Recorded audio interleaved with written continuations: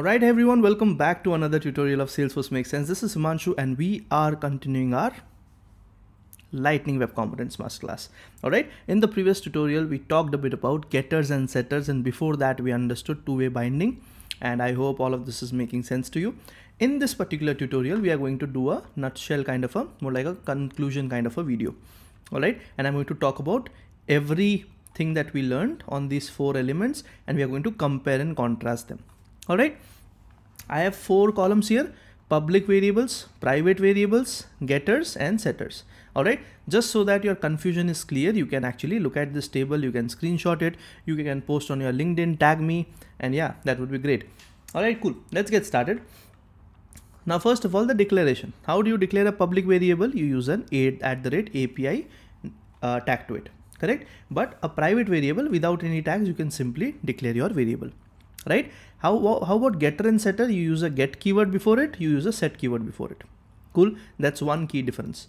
The second thing is what is accessible in html so public variables are accessible right? Same is for private variables same is for getters right? That's why we use getters to get any computed value in the html but you cannot use setters directly correct? So it's a no there always you will be using a getter. The getter will be called whenever the value has to be shown on the UI but whenever it has to be calculated in that case the setter will come in the picture. Okay? Now accessible from outside yes at the rate API is made for it right? That's why you use public variables to access from outside your LWC private variables not possible. Sorry. All right getters and setters are also possible getters via HTML binding and setters when used with the API at the rate assignment, meaning you can use the at the rate API keyword with your setter methods also. Cool. Used for what? What are these used for? So public variables are primarily used when you have a parent child communication. You want to pass values from a parent component to a child component, right? What does private uh, variables use for? Internal logic, any kind of boolean checks, any kind of state that you want to maintain and all of that stuff logic inside your current component.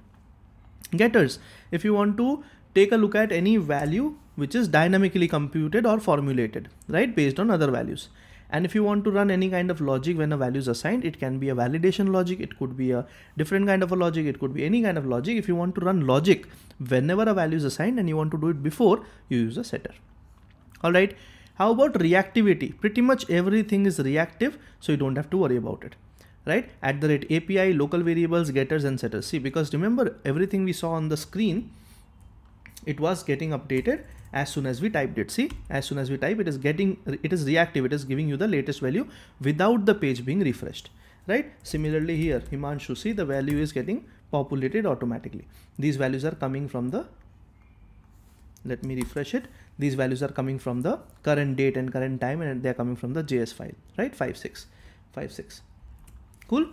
So pretty much everyone supports reactivity when reactivity is in picture. Just understand that your screen does not need to be reloaded. You will get the latest values immediately without a refresh without a page or a tab refresh. It, the component will re-render itself. That's the meaning of reactivity. Okay? Great. Can assign value directly in js yes. You can obviously assign direct values in js same is with private variables. You can do it. Getters you cannot. You can only read right? You can only return. You cannot set any values. And in setters you set values. So assigning values is not possible in getters. That is obvious. Correct? Can assign value in template like in html template can this be done directly? Yes. You can uh, use it as a public variable in template by passing it to the html right? By passing the at the rate API variable to the HTML. You can do it for a private variable also, right? It's just that it is not going to accept it if you're doing it from a parent or a grandparent. Getters, same thing, it's possible because you can put a value and then it will be mapped automatically. However, setters are not possible. You need to actually pair it with getters. It will not be setter, this will be getter. You need to have a getter in order to be able to assign a value. Just a setter will not work. All right. Now, what could be a typical use case as to when you would use a specific kind of a option that you have because now you have a public variable private variable and getter and setters these will probably be clubbed together but you have an option to choose either three of them right so whenever you are accepting values from any other components in that case you are going to use a public variable obviously because there's no other way to communicate But anytime you are doing something within the LWC component, go with a private variable. As simple as that. Don't have to overcomplicate things unnecessarily. Okay.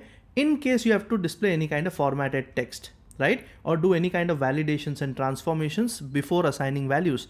In that case, you go with a getter and setter. It's like a blueprint. Okay, this line is more like a blueprint. You can just understand that, okay, this is the reason why I have to go with a, this kind of a variable because I'm doing this such, such, uh, such sort of a use case okay now extra notes i don't know why this is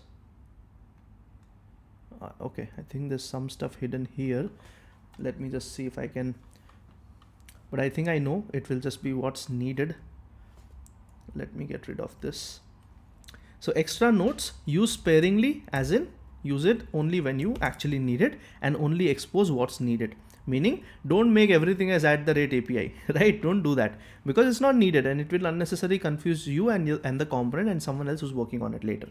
Okay, default for most of the variables is going to be a private variable and that is pretty much fine because that's what's expected.